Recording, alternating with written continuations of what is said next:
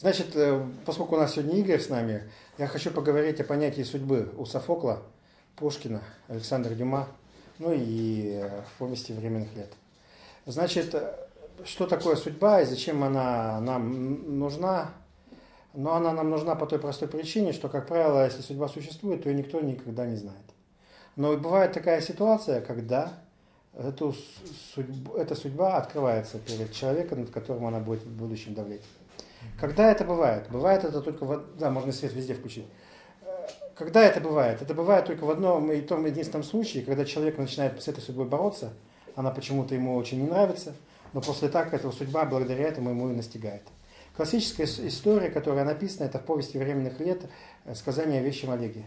Олегу, некий князю а, а, Олегу, некий Вол, э, Вол, Волхов, то есть некий маг, мошенник и чародей, предсказывает, что он примет смерть от коня своего. Этим слегка печален э, Олег. Он, он поручает своим слугам увести его коня от него подальше, таким образом, что он больше его никогда не видел. И потом, пируя со своими друзьями, он спрашивает, как же мой верный конь? Ему говорят, умер. Умер, говорит он. Значит, э, значит, волшебник ошибся. Таким образом, пойдем посмотрим на его могилу. Он приходит на его могилу, Оттуда выползает змея, кусает Олега, и Олег умирает.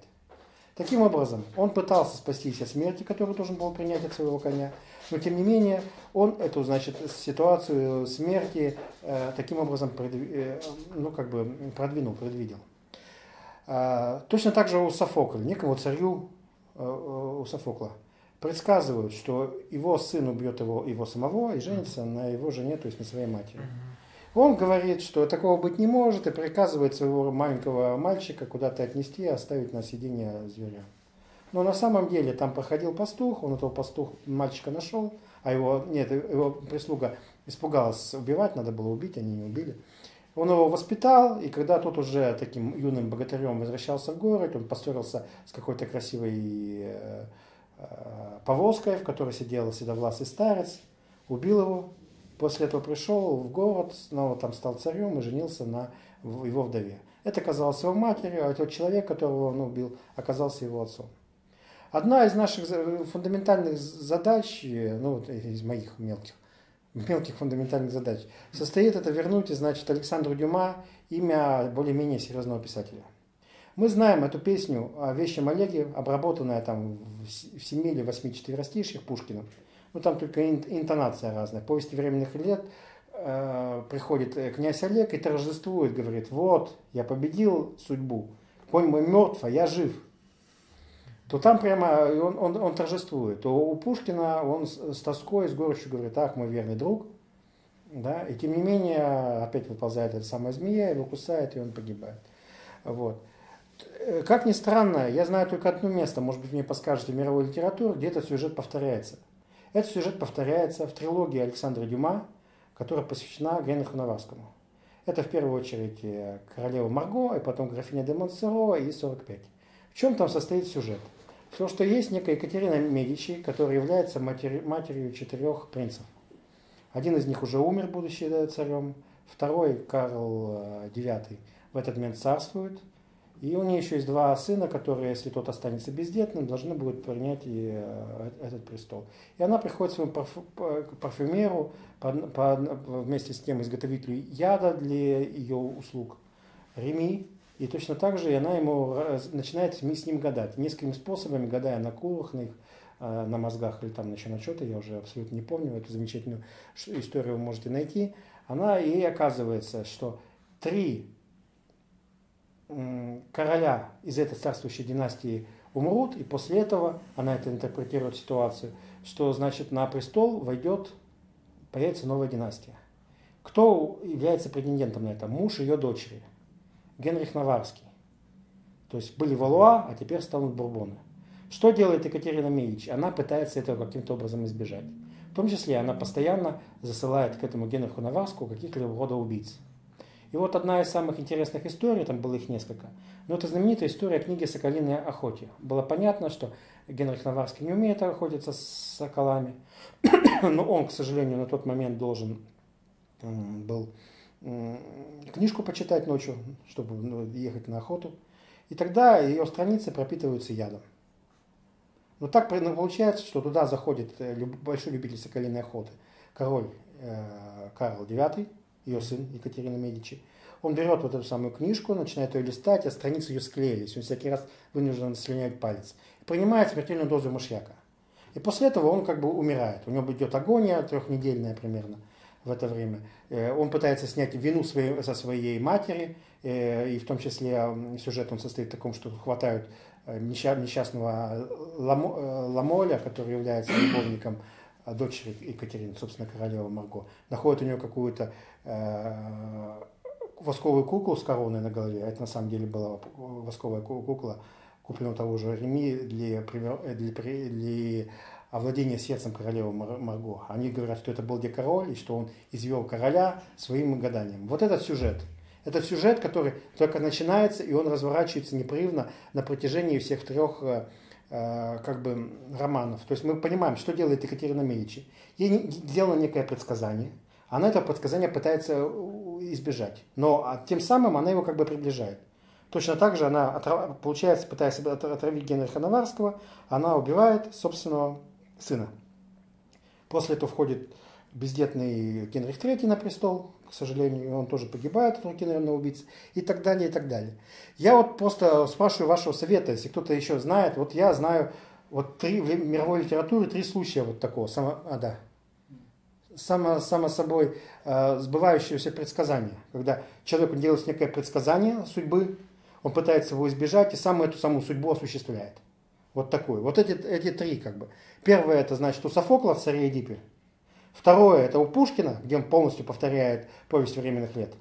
И третье это значит у Александра Дюма, где это является главной стержнем и завязкой его знаменитой трилогии, ну второй по знаменитости после э, после трилогии о трех мушкетерах, это трилогия Генрихе Наварском, она является третья она по значению. И вот это вот, это, вот такова ситуация. Вот есть у нас что-то подобное или нету? Ну, наверное, у Шекспира что-нибудь есть такое. Ну вот я не знаю. Ну я не так хорошо его знаю, конечно. Потому что Нет, мы... Ну, тут именно, чтобы сражаться с судьбой нужно ведь. Да, да надо сражаться с судьбой. Как она пришла, она несколькими способами, она пробует то и то, дать на, на мозгах, на курицах, на еще на чем-то там, на э, ягнятах, на ком-то. Она вот она пробует и попадает всякий раз, что три, три царя из царствующей династии умрут, и, и сменится династия, появится кто-то другой. И она твердо понимает, кто у них, у них настоящий претендент. Генрих Наварский. Ну, такова ситуация. И при помощи там еще нескольких этих вещей. Иеремия, это очень, вот, которого он, он понимает, когда он пытается, от, э, ему приказывают отравить Генриха Наварского путем отравления мадам де Сов. У Екатерины Медичи есть э, фрейлина, в которую влюблен Генрих Наварский, mm-hmm. которая является его любовницей. И тогда она приказывает э, э, Реми изготовить специальный крем на основе мышьяка, чтобы она, мадам Десов могла покрасить собственные губки. И Генрих Наварский, целуя ее, принял бы опять бы смертельную дозу мышьяка. Еремей приходит ему и говорит, а будете ли вы, насколько вы милосердным государем будете? Насколько милосердным государем будете? Вы готовы преследовать простого исполнителя воли, убившего вашу мать, потому что до этого Екатерина Мечи приказала Реми матери Генриха Наварского отравить. Точно так же. И он говорит, что да, я буду милосердным государем, государем, я такого человека, безусловно, прощу, потому что он только орудие в чужих руках. Безусловно. И тогда он забирает у мадам Десов, говорит, что вам эта губная помада не подходит, и убирает его. То есть он тоже, вот меня тоже вот этот Реми, он и интересовал, мне казалось, что здесь есть нечто сложное. Но этого сложного нет, по той простой причине, что он-то понимает, что три царя умрут, это действительно так будет, три короля умрут. Но четвертый, это не обязательно будет Генрих Наварский. И он просто таким образом, забрав вот эту помаду мадам Лесов, он таким образом э, выбрал подходящего претендента. Вот, так, такова, такова вот эта ситуация. Это вот тема судьбы, саморазворяющейся, самоизбывающейся, она чрезвычайно интересна. Правда ли говорят, что любой, что когда тебе предсказывают судьбу, это как бы всегда знак смерти? Ну, наверное, как смерти, потому что как вы знаем, когда э, царь Эдип понял, что он наделал, он ослепил себя. Там у него есть там э, Эдип в колонии или где-то еще. Я просто извиняюсь, я слово Софокл употребляю с большим трудом, по той простой причине, что на философском штурме есть персонаж, который взял себе такой ник Стас Громаков из Саратова. Поэтому для меня, у меня такое двоение возникает. Я с трудом выговариваю этот термин Софокл. Вот, такая вот эта вещь. По этой э, логике там всех философов с трудом можно уговорить, потому что у нас все Да, есть. они перебирают все имена, да. Ну вот Софокл как-то особенно. Ну вот такая вот вещь. Такая вот вещь забавная. Ну вот, я просто не знаю, это просто э, мы многократно уже обсуждали эту таинственную связь между Александром Пушкиным и Александром Дюма. И они настолько были между собой похожи. И вот получается, что сюжет, который Пушкин обрабатывал коротко, Дюма взял на, на, на примере Ну, на- французской истории, и он его как бы развил. Ну, по большому счету на один, но это просто завязка, все идет там дальше разворачивается. Там уже Екатерина Медичи с ее маниакальным э, желанием убивать, она уже не столь активна, просто она стара стала уже. Вот, такие вот, такие вот, такие вот вещи. Я другого просто такого не знаю, и это вот удивительно. Это дополнительный аргумент того, что Александр Дюма и Александр Пушкин удивительным образом близки. Ну да. Я тоже сходу, честно говоря, ничего такого не помню.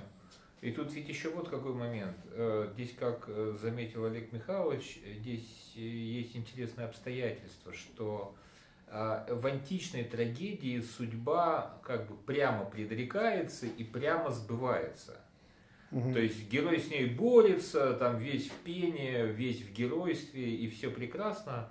Но судьба, тем не менее, та самая сбывается. Мгм. А в новое, новое время, новое время в этом отношении привносит изменения. Судьба обманывает. То есть у греков судьбы обманщицы не было совершенно. А в новое время она уже возникает. Вот у Шекспира какого-нибудь, э, вот там да, там судьба без конца обманывает. Э, ну вот из такого хорошего примера э, только Макбет, пожалуй, я могу так сходу вспомнить. Там он из-за чего за- затевает э, сам Макбет всю интригу, чтобы, так сказать, устранить царствующую династию и стать самому царем. Потому что он получает ясное предсказание, что ты все это сможешь проделать. Он узнает, что все будет хорошо, но при одном условии, там, если лес Дунсинанский не пойдет в атаку. Он говорит, ха, нормально, никогда не пойдет. А он атаку». пошел, да. Ну, А он пошел. Да, то есть его судьба обманула. И, а, ну, там это много где. У Пушкина, у того же самого, э, у всех. А в этом смысле, ну, можно, наверное, сказать, что вот такая нитка э, преемственности с античной трагедией, ну, вот существует. Ну вот только, только два места я знаю. Вот этот э, трилогия Дюма и э, э, 7 или 8 четверостишей Пушкина «Песня Вещем Олеге». Больше другого не знаю. Ну, да. Таких вот вещей. Это как бы так очень интересно. То есть как бы это поразительное. Поразительное совпадение, чтобы Александр французский и французский и русский как бы по сути работали над одной и той же темой. Скажите, а почему вас именно этот сюжет привлек? Там в литературе же в мировой много разных сюжетов, и почему э, именно этот? э, Что тут такого специфического? Ну, фиг его знает. Я, э, компьютер у меня тогда сгорел, после операции лежал и читал Александра Дюма. И, господи, боже ты мой, а? Вот такая вещь. А так, вопрос давности судьбы. Да, нас важен. В, на- в нашей парадигме эстетики этот вопрос действительно важен. Каким-то образом. Ну все, да.